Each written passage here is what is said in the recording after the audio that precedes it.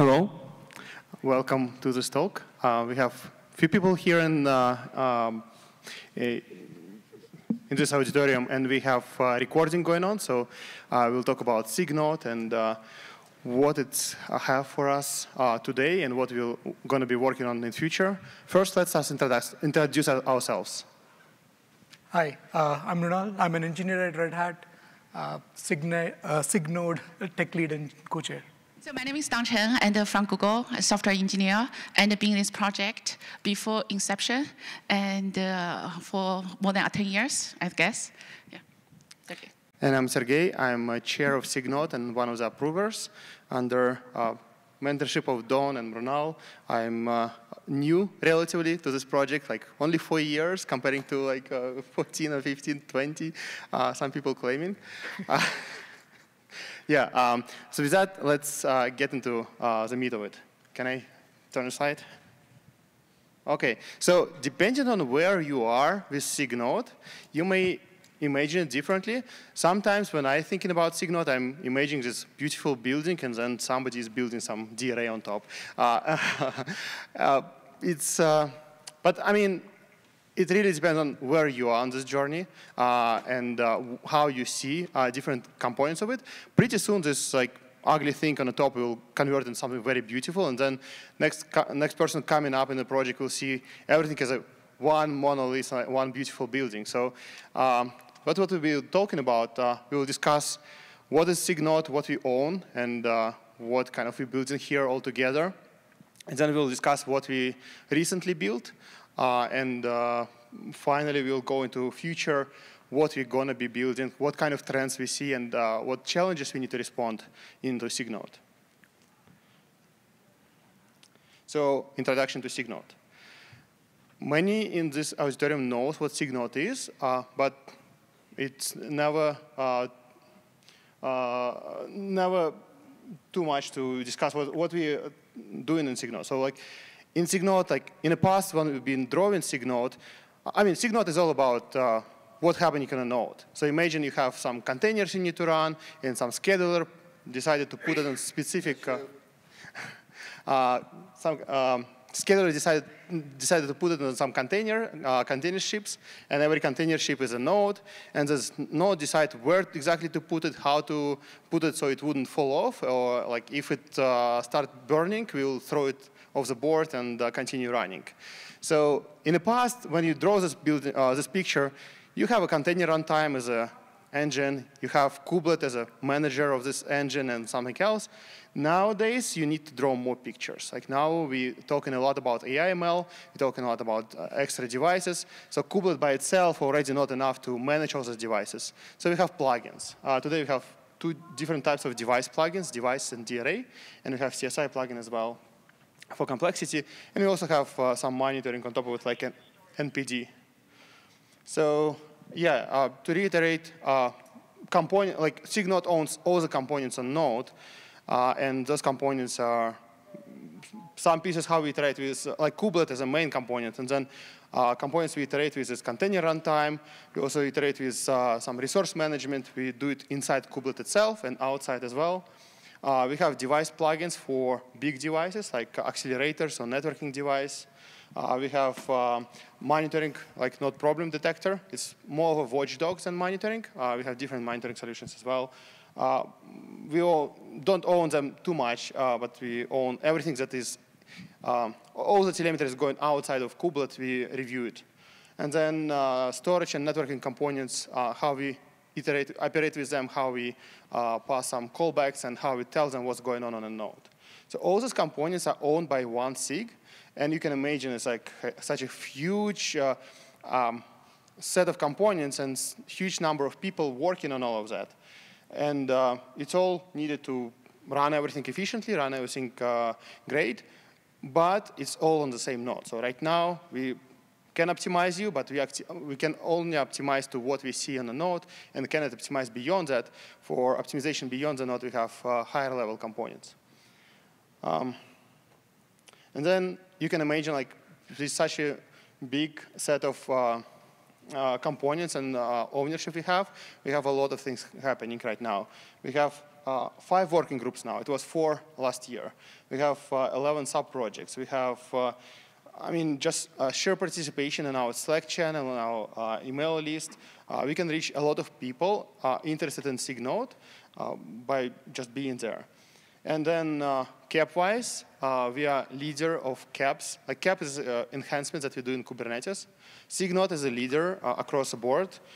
It's like not even distant second. Like we, like I think second place maybe five KEPs. So like we, we, we running on double digits for a long time already. And uh, you see, uh, every release we need to review and track um, some 36 uh, uh, KEPs, and then out of them, some of them will be tracked, some of them will not be tracked, and out of them, some of them will be implemented, and some of them wouldn't be implemented, and we need to reiterate again next uh, cycle. But it's a big number, and uh, if you participate in and you uh, just bringing something in, just remember that there are so many things happening uh, simultaneously that uh, it's, uh, you just need to bring a lot of attention to us to make sure that uh, your KEP is also moving along. And yeah, if you just watching what's happening and uh, like just watching PRs and issues being filed for SIG-Node, it's just a huge number. And we have meetings, we have two meetings every week uh, one for triage and, uh, and one for just overall what's happening. And the triage meeting is one hour of uh, basically triage. Like you, all we do is uh, looking at what, what's happening and how we can uh, improve the project. So uh, that's a lot of things happening. And with that, I want to pass to Dawn to explain what we're doing right now, what just happened. Thanks, Sergey. And today. I've been so excited here, being here and together with the Manu. And uh, I'm going to show what we have been done. And uh, if some of you guys went to the KubeCon this year, Europe, this year earlier, I remember I announced, I said, okay, Kubernetes is going to shift from the node focus to the workload focus, right? So whole Kubernetes also will shift to that, uh, and the node played a critical role there. So that time I promised several features, I remember, and today is the chance I come here to report back to everyone here and what we have done and uh, some of those important features. Right? So, so just like Sergey mentioned that Kubernetes SIG-Node always is the uh, top one or two. Actually, I think they always top one. no, there's no doubts. And the top one have the most of the feature development, most of the KEP tracked and uh, uh, development over each release. And you can see that in the 1.32. And one of the biggest, one of the big focus for SIG-Node, it is um, allow give you allow you uh, give you more the uh, power and the flexibility for the resource management um, on the uh, your Kubernetes cluster. So you can see that uh, from this table highlights all the key uh, functionality, key uh, features we've been development uh, uh, over this uh, development cycle, and and range from the alpha to to the stable, um, and on the various various areas. And in this release, we actually um, improve made the improvement on the device, special device management, and also the dynamic scale about of the resource uh, for your based on your workload needs. And also we even leverage of the swap memory for the better resource management and all those kind of things. You can see that Okay, first let's celebrate some of the major milestones and uh, of the some of those in this release. And uh, we have the uh, two. Actually, there's the DRA also, and uh, but but it's not included here. But the first to celebrate of the stable. Uh, um, so there, there, are two features. One of it is the, uh, we introducing about the sleep action for pre-stop hook, and this is graduated to the stable. This is uh, a lot of the graceful shutdown and experience for customer for the users, and uh, avoid of unnecessary complicate of the customer scripts and also the workarounds in the system. And another thing it is uh, we finally finally graduate of this dynamic uh, sizing mem uh, the the memory backed one to the stable. And uh, this is actually the feature actually uh, help improve of the utilization. So you can can dynamically adjust about your well-known temporal such as those kind of things, and based on your pod limits. Um, and uh, so this is uh, super useful and uh, improve the overall utilization and all those kind of things. Another thing it is we have the two features, actually more than two features, but it's not listed here. And um, uh, here is the two features. One is the pod, the uh, in-place pod resizing, and it's going to finally, after five, six years hard working, debate over, and and also in the 1.27, it is alpha, and now finally is beta in this release. And um, so I'm going to talk about more about this one later. And then we also have like the uh, support to drop in Kubernetes config directory, and this is make uh, much easier. And uh, so then you can see that on this table, there's the many of new uh, uh, alpha features and uh, and include about the toning about the crash loop back off features. And this is really critical for a lot of workload especially for AI uh, uh, machine learning workloads and uh, we are going to continue to improve this one. And uh, yeah. So please try those features and give us the feedback and the inputs and complain if it doesn't work for you.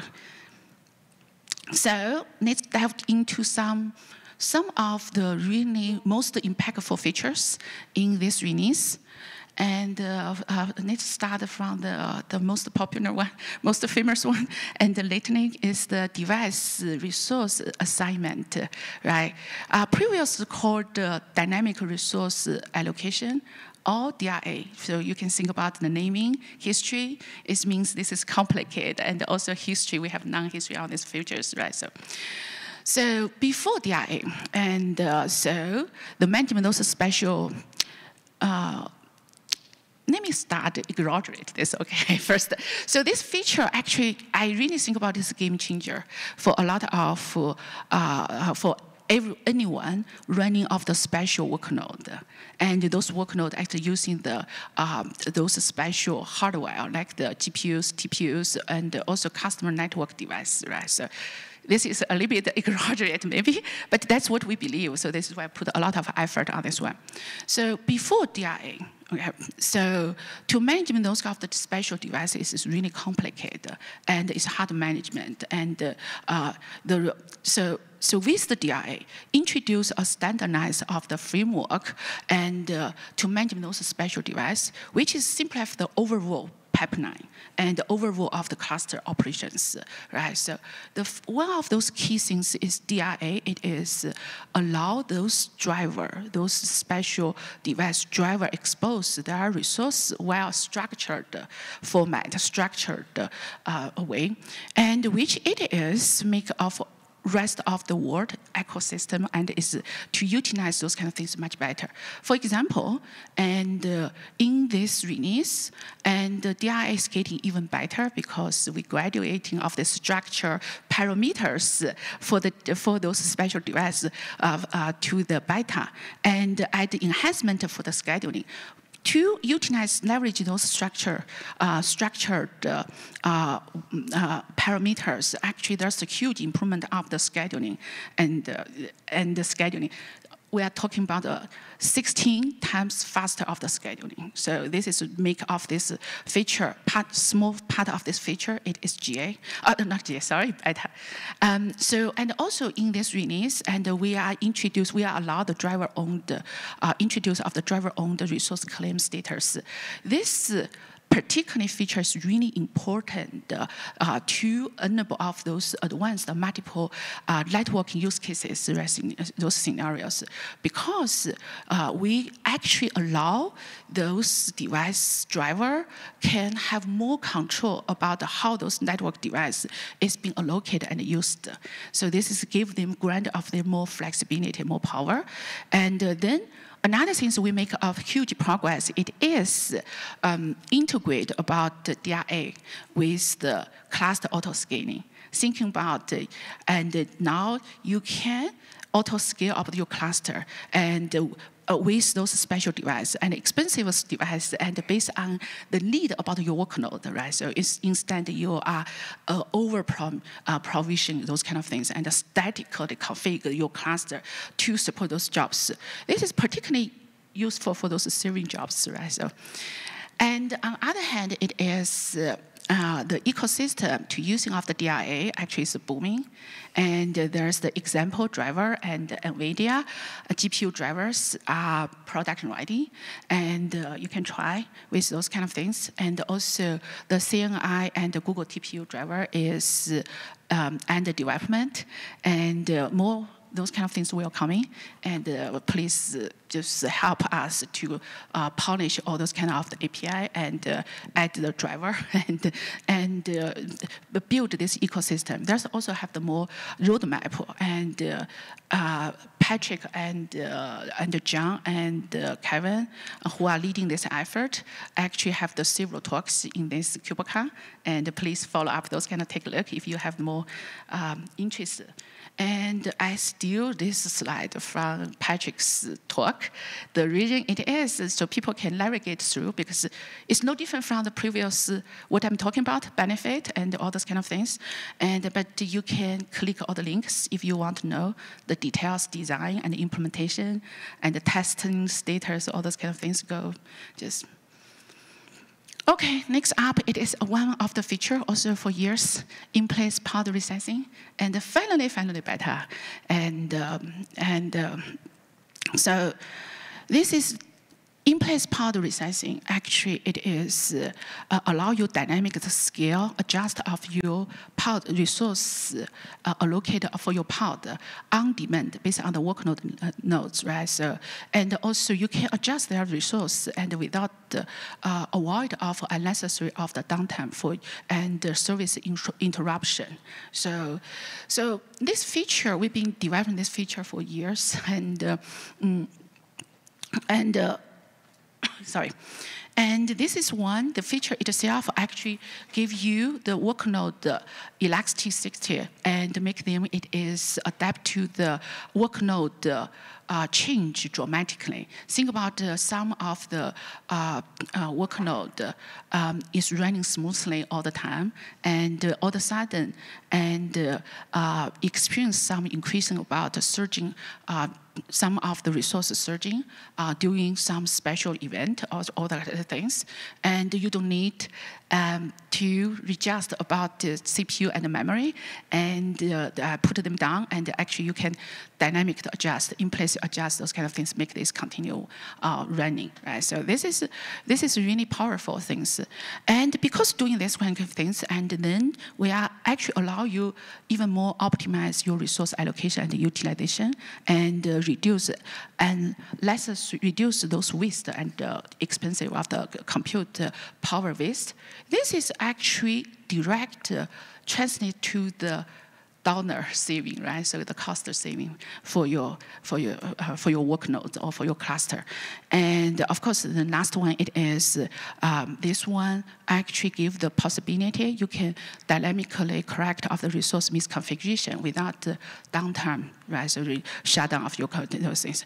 So anyway, this feature it is the win-win all around. And uh, so for this one, to please try this feature in your uh, testing environment and give us the feedback. We are continue, we are improve those kind of things. I got this uh, last night. I got this spreadsheet, and because I proved last uh, PR just yesterday, um, and uh, and then last night is merged finally. So then I can see it is beta. So same idea. So you can navigate through. You can see this is what we are doing during the one data 32, this time development phase, and we have so many of the things. This is not all actually, uh, but the major change all included in this uh, uh, screenshot. Yeah. Now let's move on to the new features, pod life resource specification. And now it is alpha. We, um, uh, yeah, we start talk. I talk about these features like many years ago. I, I remember, and but we never really um, uh, committed to doing this. Even we introduced pod level C group many years ago, and we introduced after pod overhead, and but we I we never really get around to, to commit to do this. Finally, is here. So this feature basically it is allow you um, uh, allow you, you, instead of uh, uh, define uh, assign uh, the container uh, each individual container resource requirement. So we allow user to define resource requests and limits for the pod as a whole. Right. So then you don't need. Um, it is reduce of simplify the resource allocation, simplify the get rid of those complexi complexities to calculate of the resource requirement for individual containers, right? Just think about uh, this is especially useful for those complicated part which have uh, tight coupled uh, several of the containers in, inside one pod, and they may be uh, experienced about uh, traffic peak at a different time, and then actually you can put them together and and uh, assign about the pod level of the resource. Need container dynamic to figure out how to best utilize the resource assigned to the entire uh, pod. Of course, this is the same as the in-place pod resizing. They are optimize of the resource utilization and reduce the waste, right? So you can charge, actually you can charge the real usage based on the pod usage uh, for the customer. This is also kind of like uh, uh, uh, have those some cost saving benefits for the users. So, and uh, like what I say, think about the application, have the tight couple of those uh, services. And just like, for example, imagine uh, e-commerce, um, those resource and uh, doing of the uh, shopping session, and uh, so um, so how you are going to manage of those kind of things, and also like the streaming uh, services, how you are going to manage those kind of things, and this is basically give the flexibility to how you adapt to change to change your workload based on the different type of the nodes over the times. So this is alpha, and uh, mm, so and the, the feature itself is super useful and powerful uh, as its own. But to think about together with uh, pod uh, in-place pod resizing together, this is even more powerful, right? So you uh, you are not just just you need not just individual of the container. You can adjust about this share pool of the resource and the need container based on those kind of the services. So, um, so all those kind of things is so last one, let me talk about the node swap support. And uh, we've been developing this also for years. Traditionally, and the Kubernetes community, especially SIG-Node, especially myself, and really uncomfortable to introduce uh, swap uh, into the uh, into the system because just giving uncertainty, giving off the performance, and giving off the unpredictability about the, uh, uh, for the workload, right? So, and uh, this is really hard. But we also cannot ignore the valid use cases, right? So for uh, swap can enable, especially for those VM I think the VM use uh, container use cases, and uh, so and also uh, for the uh, booming about like the stateful site workload at this time, even you cannot even you cannot. Uh, um, uh, in that increase of the resource on the giving, giving node, especially for those bimental use cases.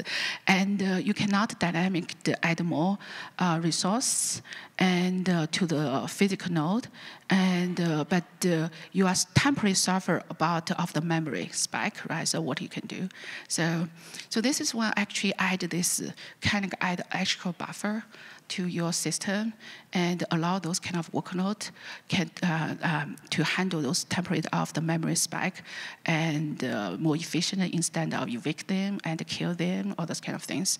So this is why we are, we are committed to doing this one. And uh, so the we proactively work on this one, and the team actually conduct of the extensive of the stress tests to make sure this work uh, based on what we are expected and performs meet our performance requirement. And one of the challenge, which is actually make us not uh, uh, promote this to beta, it is just figure out uh, eviction management integration, right? So we want to still make sure uh, uh, uh, improve of the eviction manager and make sure there's the job using of the swap and avoid of the swap saturation situation and also protect the node, prevent node from the instability, those kind of things. So, but the next, but this is a high priority. So we're hopefully next time I report back, this is already beta or GA. So yeah. So now I'm going to hand over to Manu for other things. uh, thanks, Dawn. Uh, so Dawn covered all the big items that are happening in SIG-Node, right? So we want to make sure we also highlight the smaller improvements that still improves the life of a Kubernetes admin or a user. So here are a few KEPs to call out. So first one is for allowing special characters in environment variables. So previously there was a limit on what, uh, what characters you can use, but now it's been expanded to cover all the ASCII characters except uh, the equal to. Uh, the second one is uh, about splitting standard out and standard error log stream. So in some cases, you may only want one of the two, and this KEP is working towards making that possible. The third one uh, by Akihiro here in the audience is for improving the security. Um, so if you have mounts and sub-mounts under those mounts, in most cases, you want to make sure that uh, when you make the top level mount read-only, you also want the sub-mounts under that mount to be uh, read-only. So we uh, introduced uh, this KEP to add that feature to make Kubernetes uh, more secure. And the final one is uh, when you're using CPU manager and you're using guaranteed pods, your burstable and best effort pods can still go and use up your reserved CPUs. Now, this can interfere with your kubelet or your other system daemons, right, which is bad. You want a clear separation. You want to protect your system daemons uh, from your workload pods.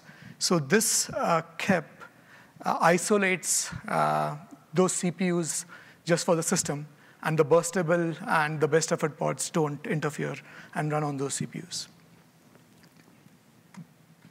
All right, so uh, Dawn covered the motivation for introducing pod level resources. So I'm gonna go a bit uh, deeper into that, into the implementation of how it works. So while Mrunal is switching off to, oh, you wanna talk about first? Yeah. Okay. Uh, I just want to mention a couple things. Like we're talking about a lot from user perspective, like what user feature we enabled, what we did for users. But uh, from maintainer's perspective, if you want to contribute and you interest what happened, we didn't put it on slides. We did a lot of work uh, in testing, for example, in this release. So we injected, uh, we started doing uh, error injection in CRI testing. We do, did uh, error injection device plugin testing.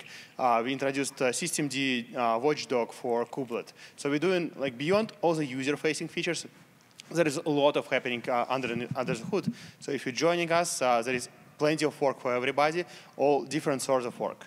Yeah, sorry yeah, about that. Uh, thanks, Sergey. all right, uh, so going back to pod level resources. So this allows you to specify resources at the pod level. Like today, typically you specify your memory or uh, CPU limits or requests uh, at each container level, and then they are aggregated or added up at the pod level. So now with this KEP, uh, you have the ability to just specify the values at the pod level, and your containers can now uh, work within that threshold. And this can work out in cases where all your container resource picks are not hitting at the same time. So you're basically, uh, you have more capacity on your nodes. So one thing I want to call out is this is entirely opt-in. This doesn't take away the existing feature where you specify things at the container level. You can do that, and you can mix the existing uh, container level uh, limits with the pod level limits, and there's a whole table on how it works. Uh, so the initial support uh, was added for memory and CPU. It'll be expanded uh, for other resources. Also, this is going to be C groups v2 only. So if you haven't already migrated to V2, please, please migrate. This is like carrot for getting folks onto V2. Uh, all right, so there are some uh, rules uh, for specifying pod level resources. Like no individual container limit can exceed the pod level limit. The pod limit, if specified, must be less than or equal to the sum of individual container limits. And then uh, if pod request is specified and the container request is specified, the pod request must be greater than uh, the sum of the container resources. This fits in the mental model of how the container level uh, requests and limits work today.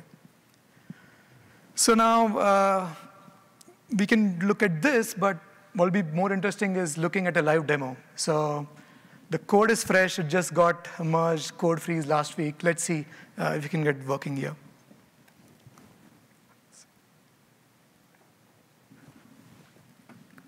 All right, uh, so I have a Kubernetes cluster up with the pod level resources uh, feature gate enabled.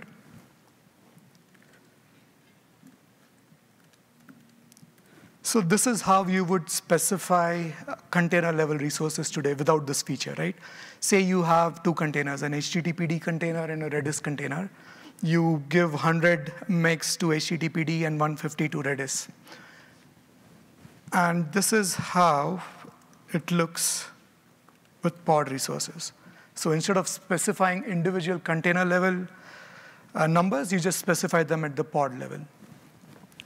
Now let's try running these pods.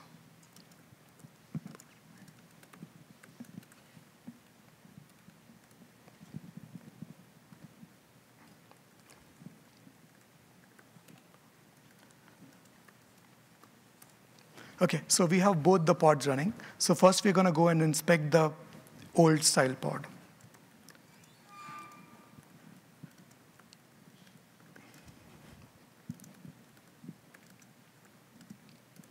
All right. So this is the HTTPD container. Uh, let's inspect the memory limit. It's 100 megs, as, as set in the spec. Now let's inspect the Redis in there. Redis is running. And it has 150. And at the pod level, uh, it, it should be 250 if, you, if we go and inspect that, okay? But now I'm going to uh, switch to the other pod.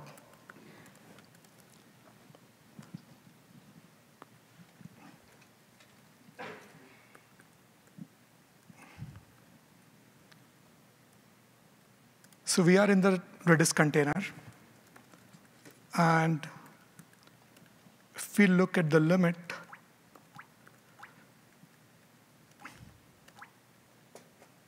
cat, yep, thanks.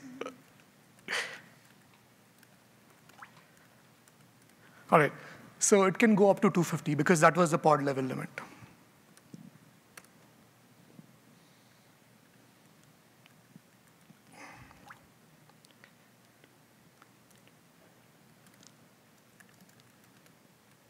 Now inside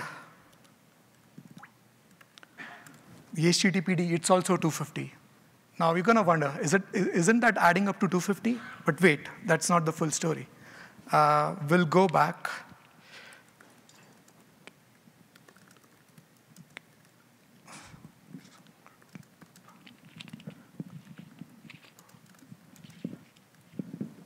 We're going to inspect the pod level C group.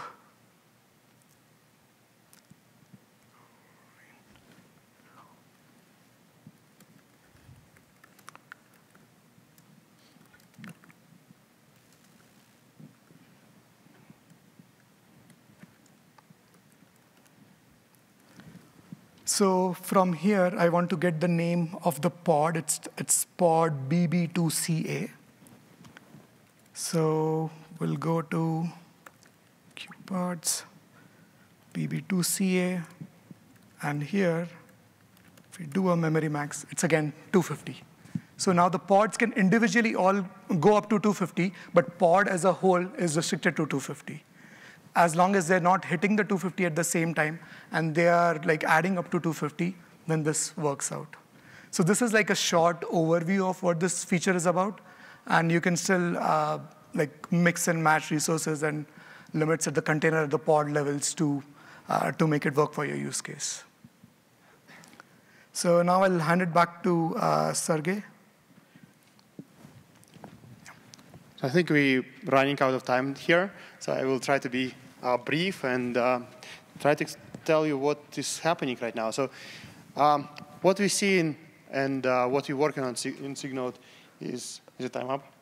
Okay. Uh, so um, we, we see more and more workload-centric um, improvements rather than uh, not in infra-centric improvements. So we're talking less about how we get infra uh, assigned to uh, pods. We're thinking about how this port wants to consume the infra, how this port wants to consume the resources.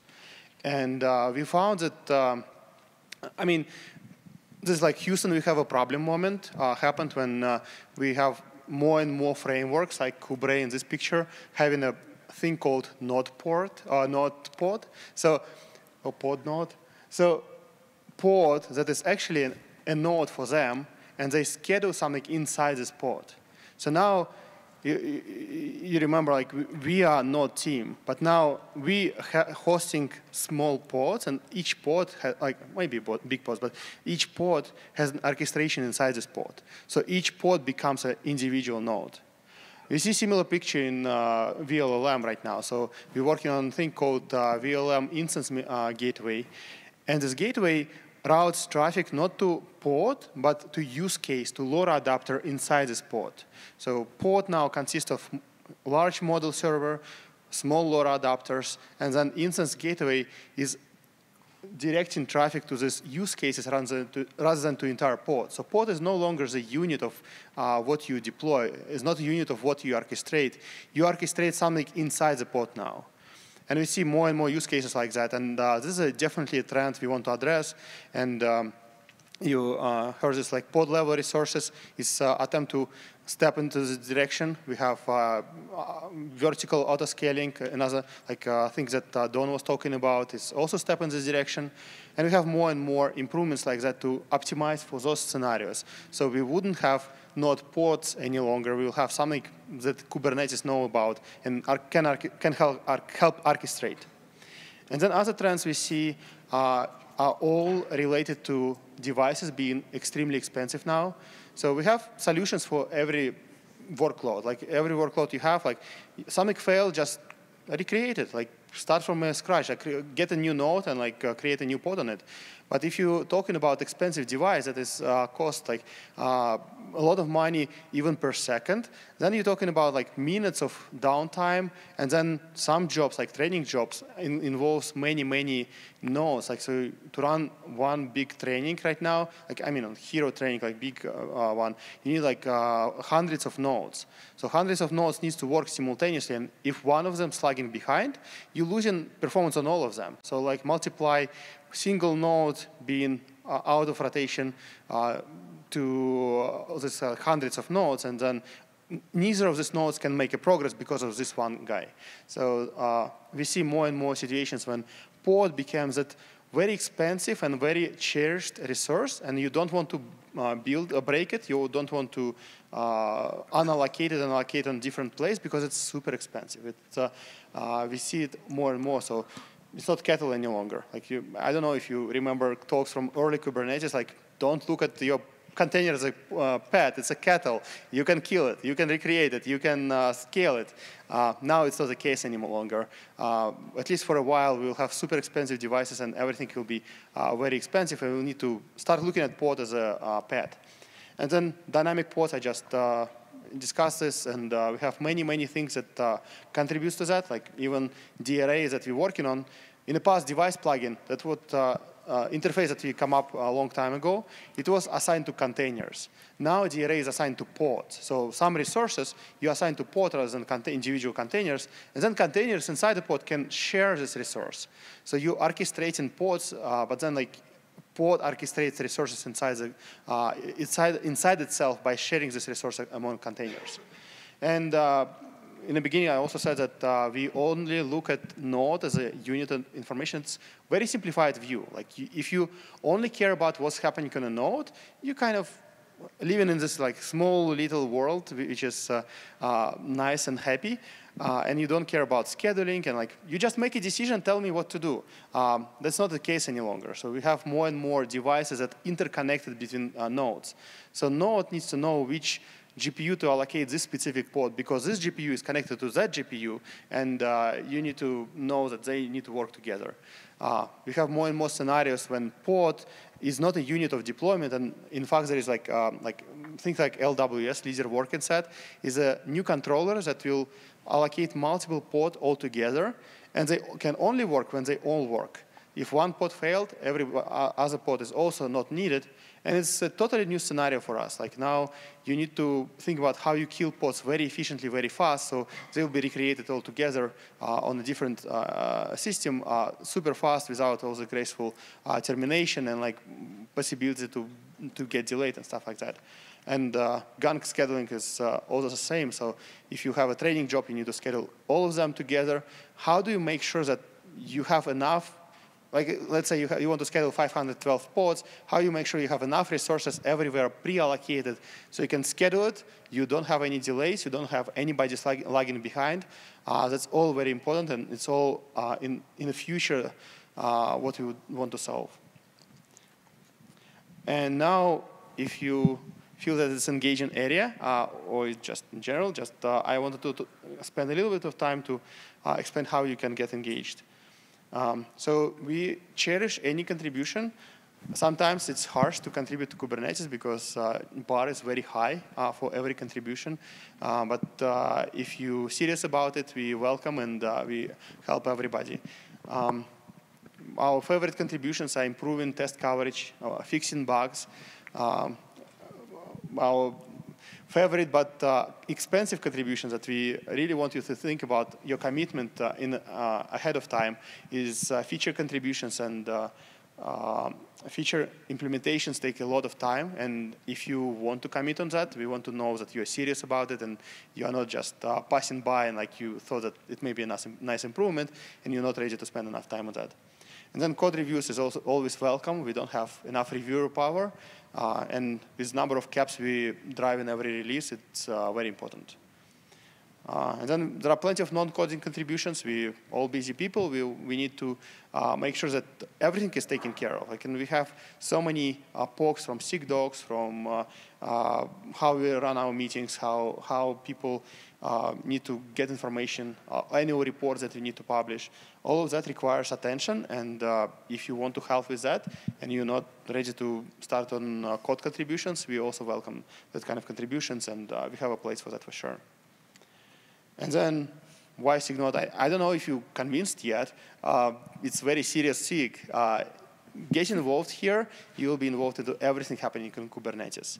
Uh, everything touches Node, everything uh, other SIGs wants to do uh, comes back to us, and uh, we will um, work with every SIG. So uh, if you want to work on fundamental of Kubernetes, SIG-Node is the right place. Uh, we have uh, a lot of opportunities from very small to like extremely large.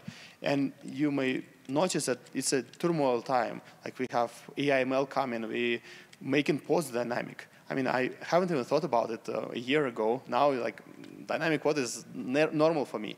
Um, and then community is amazing. We have so many great people. Uh, so you um, just get involved and you'll allow it. And there are a few links how you can get engaged. Um, we have many working groups, many uh, places you can uh, start with. Uh, and with that, I want to thank you for having uh, been here. And if you have any questions, please ask. And this is a feedback uh, link.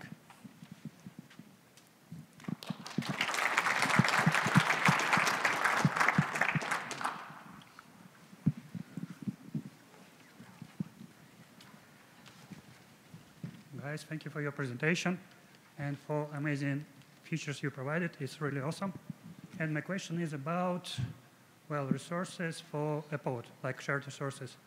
Well, imagine the situation in pod we have like two uh, containers which are kind of application containers and third container, which is kind of uh, observability container, which provides metric, etc. And will we have opportunity to like set um, the con concurrency behavior for these containers? Like all these containers will concurrent for, for these resources, and how we will be able to handle it. Like the, the same uh, process we have in Linux, kind of nice CLI, which could handle it in terms of uh, processes. I think, uh, if you understand my question, thank you. Can you, can so, you summarize yeah. one more time your question a little bit? I can, I can try to answer, but uh, tell me if I'm going the wrong direction. So what you're talking yeah, yeah. about is a like big pod and you have a sidecar for monitoring. Yeah, yeah. That for example, less important. in pod we have a lot of containers and how yes. we can actually uh, deal with this concurrency in mm. container. For example, mm. one container will uh, have a desire to consume all resources in this pod. Totally.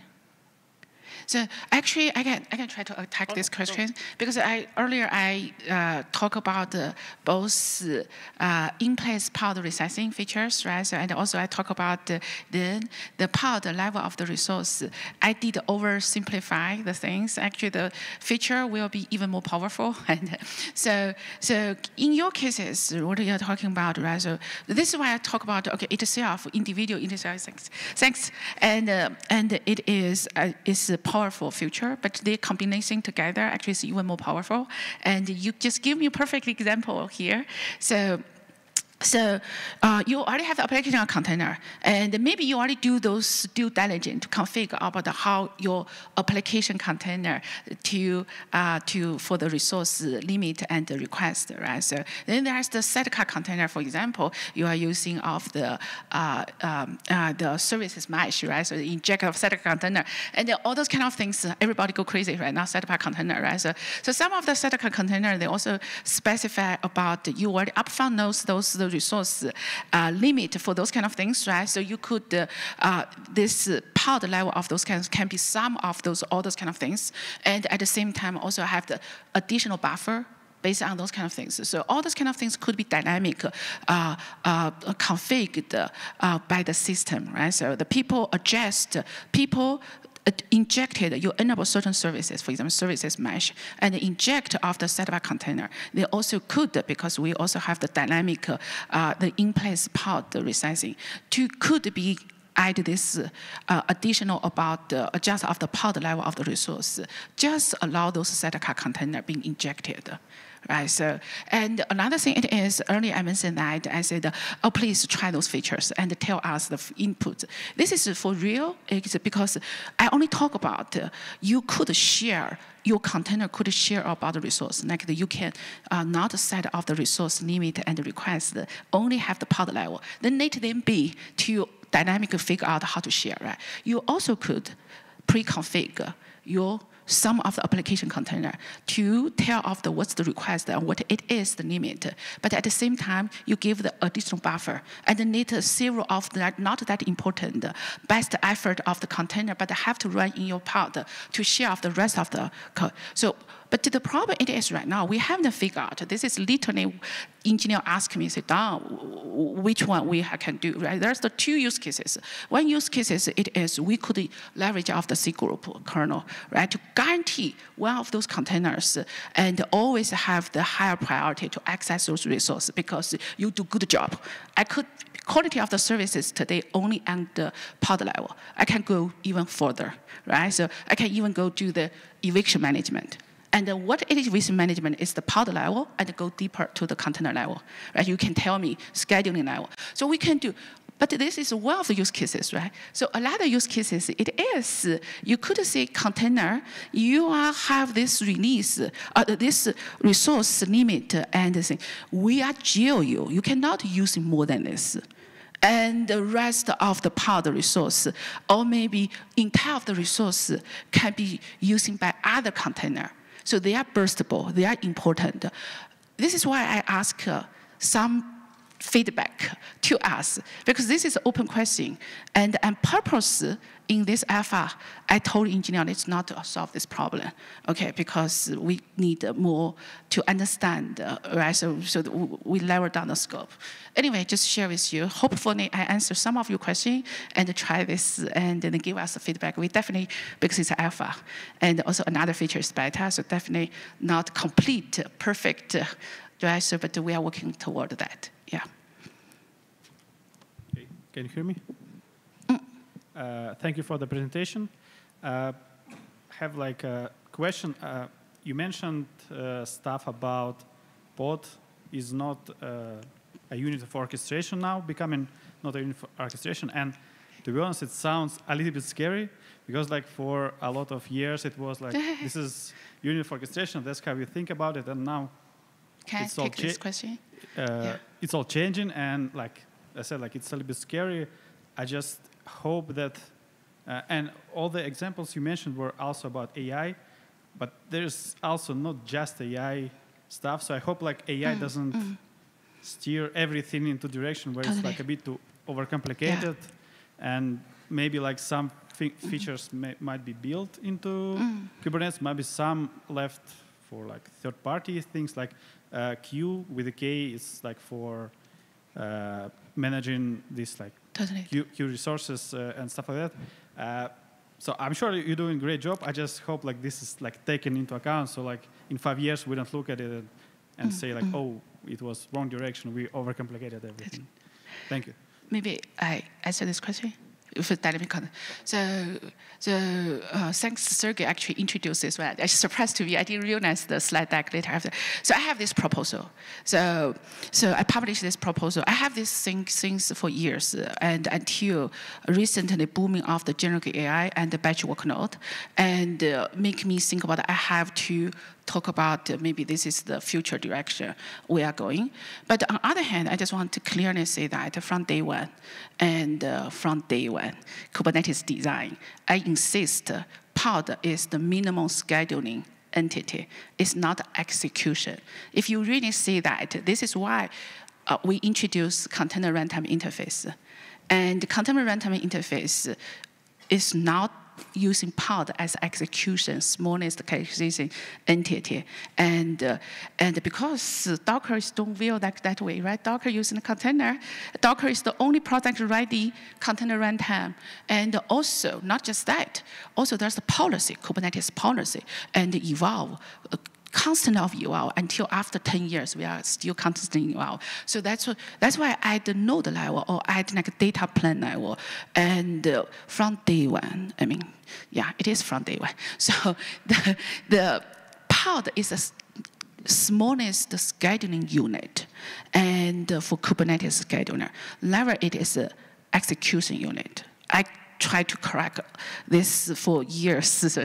so what dynamic pod actually still pod, it is the smallest unit, scheduling unit, and for the uh, Kubernetes at cluster level to placement, right? So the only things this one, it is allow uh, uh, hierarchical scheduling, right? So all the existing of the features, you want to schedule static pod still work, all those kind of things. Instead, it's just we allow the sum of level of the dynamic pod, uh, and uh, so you can uh, allow some of the batch workload, like the Ray, like the Slurms, like many other. So, and people build today, they can uh, after those pod placed on the node, right? So based on those whatever policy or for or whatever the hardware or device connected to those kind of things, and then workload will schedule their task which is container here, into those a group of the pods.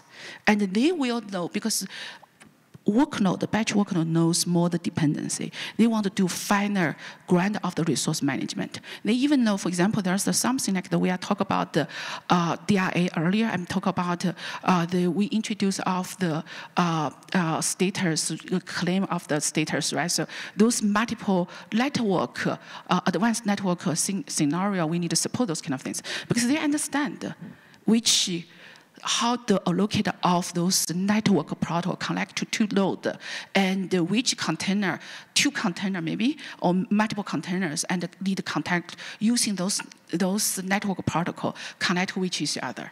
So all those kind of things, we just incremental enable of the more powerful possibility and the capability for different type of the workloads. But existing one, we are enable for stateless workload or stateful set will be same. And only, I guarantee, we are put more effort to resource management. Hopefully, we can improve of the overall performance for those workloads. That's all. Hope I answer your question here. Yeah. And I also want to assure you that, uh, I mean, Kubernetes goes into waves. Like uh, when I joined four years ago, it was like, in know, bottom of reliability. We had so many test problems and life cycle, pod life cycle was having problems just because we introduced a lot of features before that. And now we're kind of on a like high point when we very good uh, quality, uh, everything's stable, and we have a lot of uh, tests covering stuff. So now it's kind of every step we do it in, like, like Dawn said, it's every step is incremental step that we heard feedback before. So it's not, not just AML, it's just uh, feedback from uh, past years.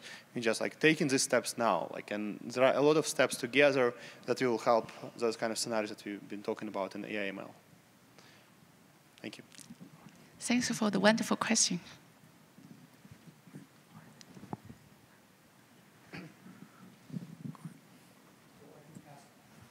Ask one more question. Thank you for the presentation. Um, we need to we have a use case that we need to manage the local SSD local SSD disk. I wonder whether we should use the DRA to handle it, or we should model them as CSI, or we should do both.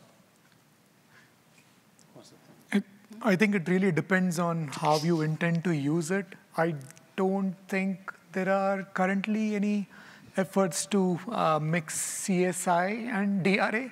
There's a CNI and DRA work interest group that's in progress, but it'll be worth exploring.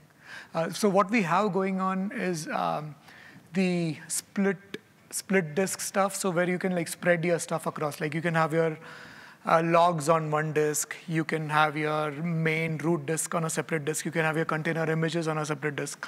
And work is going on to make sure that the kubelet recognizes uh, these configurations and handles them better. Yeah, I think one deciding factor maybe for you that uh, DRA may help you um, allow to spe specify and configure it such a way that ports will be scheduled with uh, some common properties between disk and GPU device and some other like networking uh, properties. If you have device that is like CSI drive, drive like whatever, like disk, that is very special and you want to match it to some other like NUMA node or some hmm. uh, environments, then DRA may be a better choice, but I think CSI is typically what you're going to use.